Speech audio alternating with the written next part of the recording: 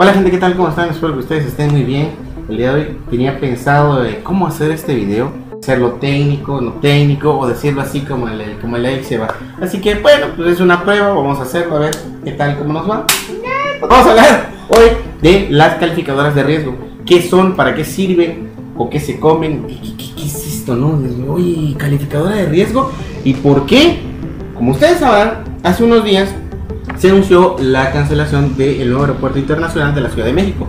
Y en los medios de comunicación, internet, Facebook, todos esos lados, empezaron a decir, no, las calificadoras Moody's, Standard Poor's, le bajaron la nota a México, ahora está en triple B positivo o triple B negativo, algo así más o menos. Y todo el mundo, no, no, no, no, empezó a perder la cabeza. A ver, cálmese. Antes que nada, vamos a empezar con el deber ser. ¿Qué es una calificadora de riesgo? Bueno, Básicamente es una empresa conformada por analistas, un consejo técnico, un consejo directivo, es decir, mucha gente capacitada que hace análisis sobre otras empresas y la capacidad que éstas tienen en cumplir con sus obligaciones a los inversores. Es decir, hay gente que quiere invertir en la empresa y ellos analizan si tienen o no la capacidad para responder ante esa obligación. Básicamente eso es lo que hace una calificadora de riesgo. Tienen notas como AAA positivo, AA positivo, triple B positivo, triple B negativo, C, D, E. Hay muchas calificadoras en el mercado. Las tres que más siempre se habla es Standard Poor's, Moody's y Fitch's. Standard Poor's es como el 43-45%, Moody's es entre el 30-35%, Fitch's habla más o menos como del 12-13% aproximadamente y el resto son las demás calificadoras en el mundo.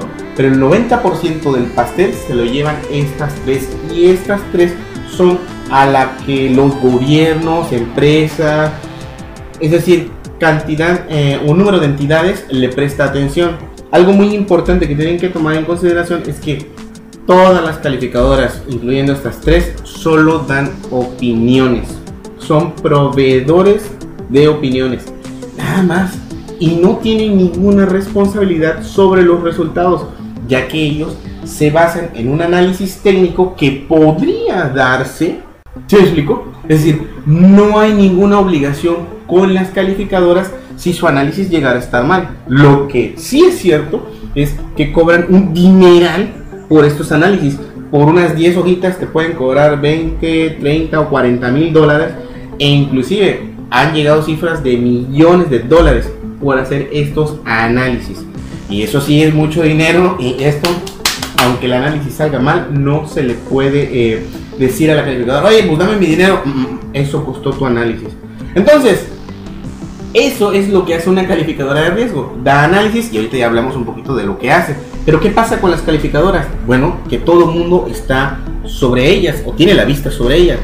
Si ellas dicen que hay una buena calificación con un gobierno, entonces eso atrae más inversión.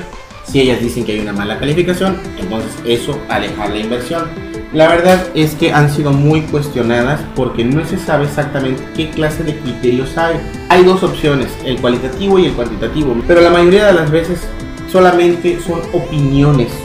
Desafortunadamente cuando estas opiniones no están bien hechas, causan graves daños. Y eso lo pudimos ver en el 2008 durante la crisis hipotecaria, donde los bancos como Lehman Brothers a las obligaciones de deuda colaterales, que son unos paquetes que se vendían al mercado, las calificadoras le dieron una nota de triple A, o sea, lo más alto posible, lo más seguro de, lo seguro. Fue un, relajo que no me quiero andar. Lo único que te puedo decir es que le dieron una calificación muy alta a un producto que salió muy malo.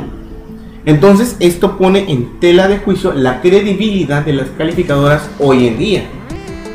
Desafortunadamente, gobiernos, entidades, naciones, pues siguen haciendo caso y la verdad es algo que, pues, como que, pues, ¿para qué te cuento, no? Es decir, ¿cómo puede ser que todavía le sigan haciendo caso frente a unos escenarios tan devastadores que tuvieron en 2008?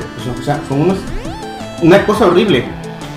Eso es un tema diferente. Quieren que hable de la crisis de 2008, bueno, ya voy a hablar, pero así las cosas. Pero así las cosas con las calificadoras. Son unas entidades importantes, sí, siempre y cuando eh, los criterios estén bien establecidos. Desafortunadamente estas les pagaban. Y bueno, como les pagaban, ellas daban buenas calificaciones. Y bueno, gente, espero les haya gustado el video. Ya saben, no olviden darle like, compartir, suscribirse, activar la campanita de notificaciones. Y nos vemos hasta la próxima. Chao, chao.